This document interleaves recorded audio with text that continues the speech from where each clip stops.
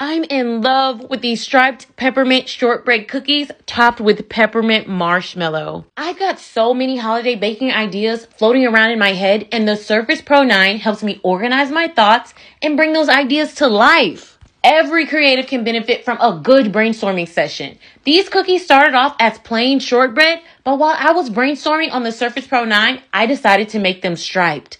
And the ideas kept flowing. Because the Surface Slim Pen 2's sleek and comfortable design makes it super easy for me to sit down and comfortably organize my thoughts with real-time writing and pinpoint accuracy.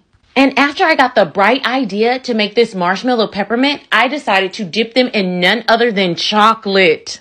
I could easily brainstorm for hours because the note taking feels so natural. It's just like writing and drawing on paper. Leave a comment telling me how the Surface Pro 9 can help you. And if you want to learn more about the Surface Pro 9, check the link in my bio.